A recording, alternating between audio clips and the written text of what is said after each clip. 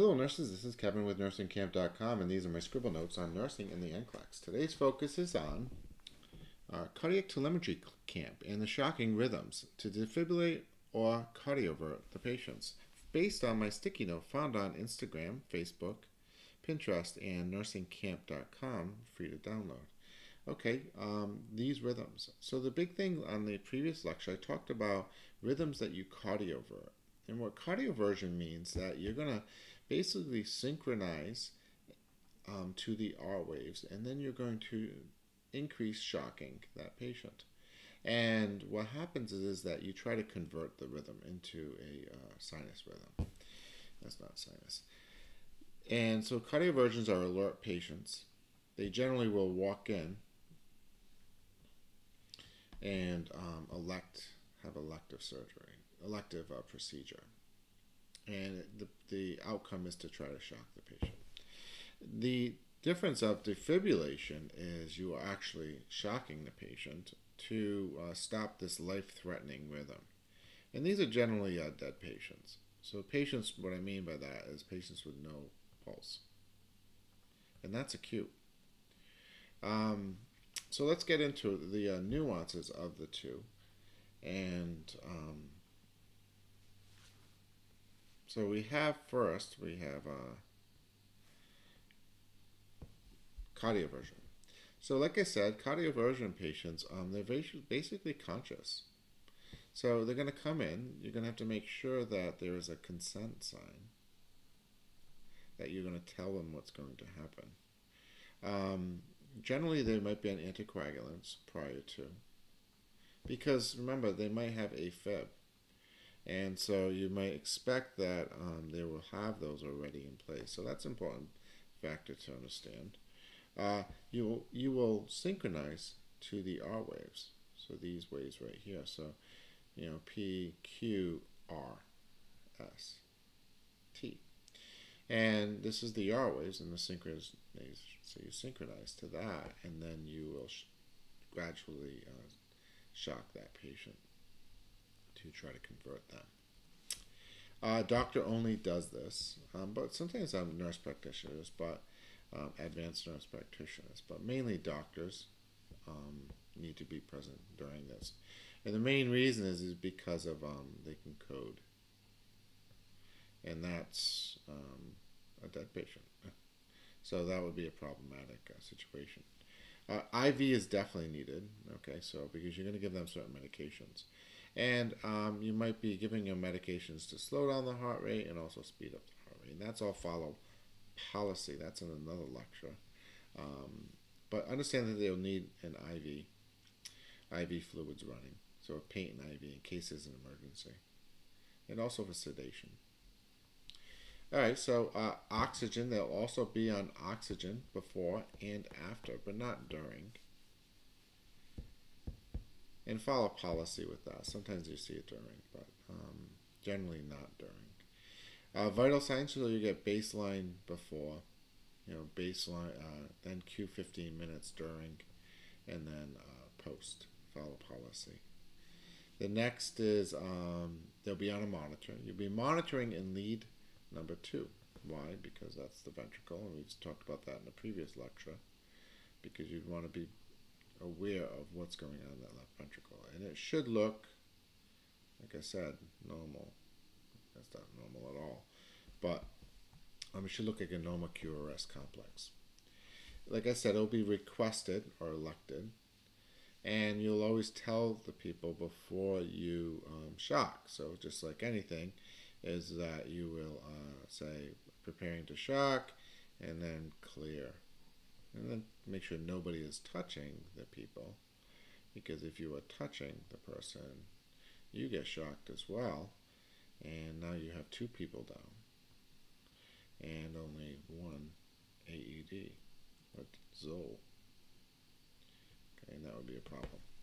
Um, also, uh, what else? So you're going to protect the skin. They'll have pads on, so you make sure that the pads are appropriately placed.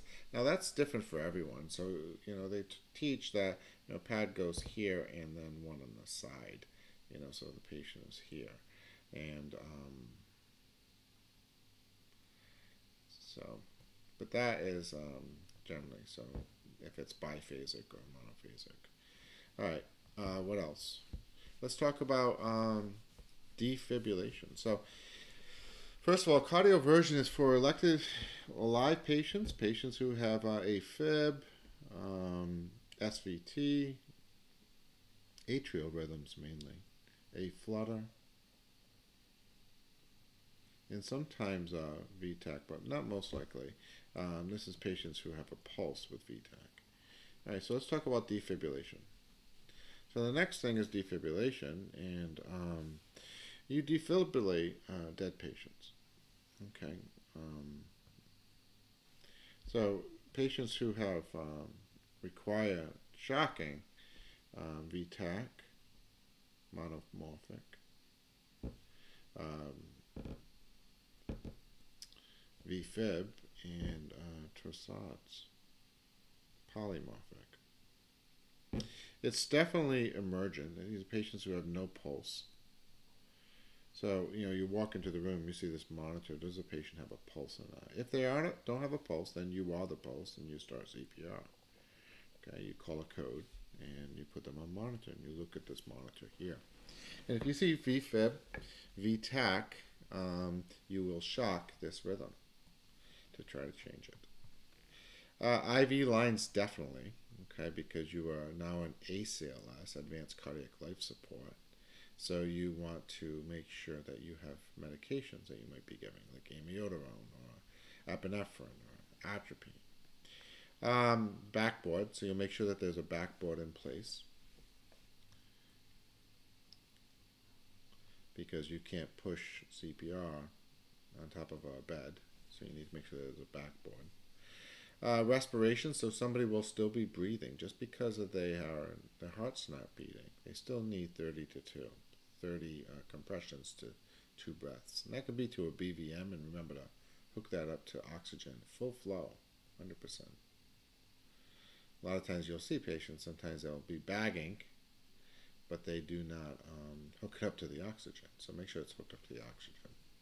Increasing joules, um, now that's a stacking policy. So sometimes people do it, sometimes people don't. It's just be aware that it might happen. So, so some ACLS believes believes that joules should be set at about 200 joules.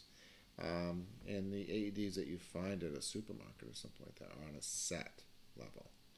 But sometimes there is a biphasic versus monophasic um, Zolls that you see in the hospital, and sometimes they set the joules to a certain rate. Uh, what else? Uh, make sure the leads and pads are on correctly. And we talked about that in the same thing with um,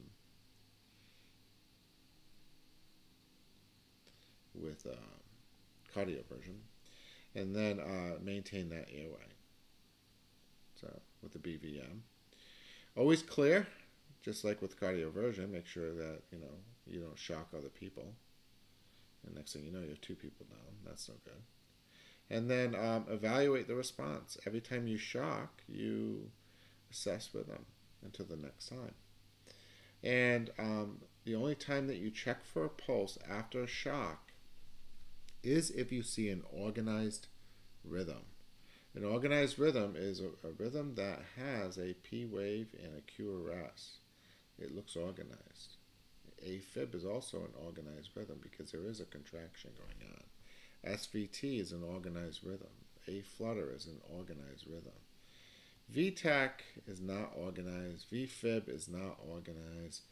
Um, torsades is not organized. So only time you check for a pulse is when there's an organized rhythm. And that is what we're going to talk about next, called the H's and T's. Reasons somebody don't have, doesn't have a pulse, but yet an organized rhythm. All right, my name is Camp, and this is Nursing KAMP, and this is my sticky note on um, cardiac rhythms that you defibrillate in cardio.